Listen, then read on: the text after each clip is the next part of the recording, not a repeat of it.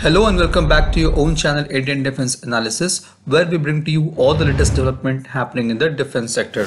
ISRO is literally on fire. In last 3 consecutive days, we have seen 3 major achievements by the space agency.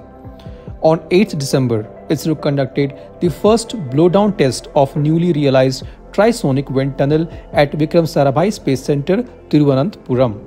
The wind tunnel will aid in aerodynamic design of rockets and re-entry spacecrafts by characterizing a scaled model by evaluating forces, moments, load distribution, unsteady pressures, acoustic levels, etc.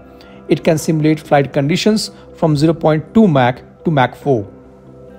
On 9th December 2022, ISRO and Headquarters Integrated Defense Staff have jointly conducted hypersonic vehicle trials. As per reports, the trial achieved all required parameters and demonstrated hypersonic vehicle capability. On 10th December, ISRO has conducted the hot test of scramjet engine for 11 seconds. The test was conducted at ISRO's Propulsion Research Complex at Mahendragiri in Tirunelveli district of Tamil Nadu. We have already discussed in detail about the first two updates, so today we are going to discuss about the recent scramjet engine trial. Now before we move forward, just want to touch base upon the air breathing engine technology for the better clarity of our viewers. Nearly 70% of the propellant, which is combination of fuel and oxidizers carried by today's launch vehicle consists of oxidizers. Therefore, air breathing propulsion technology is being developed which can utilize the atmospheric oxygen during the flight through the atmosphere and they don't have to carry these oxidizers. This will considerably reduce the total propellant required in a rocket or a missile. There are mainly three types of air breathing technology which are ramjet, scramjet and dual mode ramjet or DMRJ.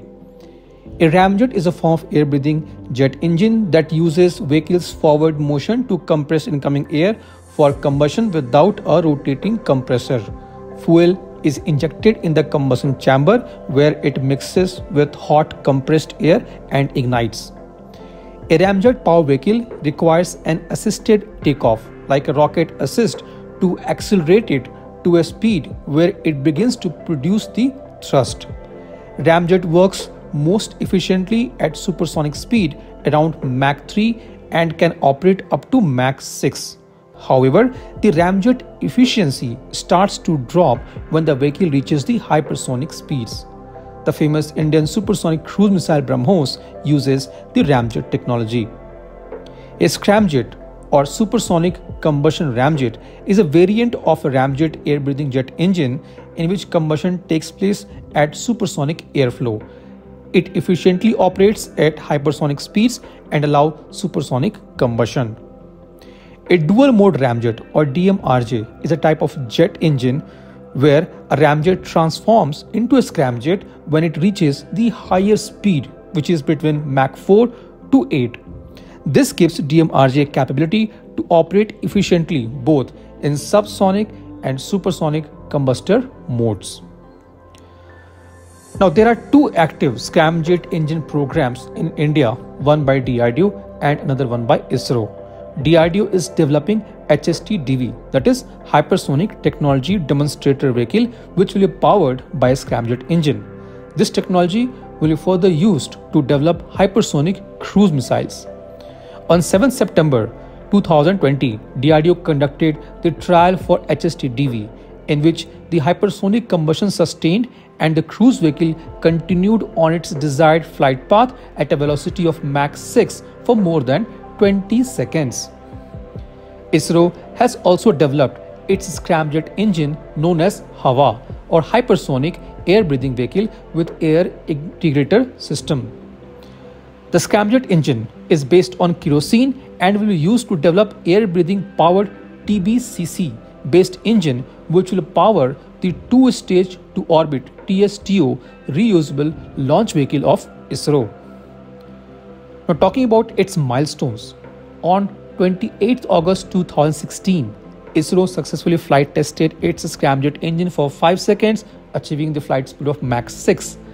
the successful flight demonstration of scramjet mode of propulsion was cost effectively carried out with ATD-02 scramjet characterization flight.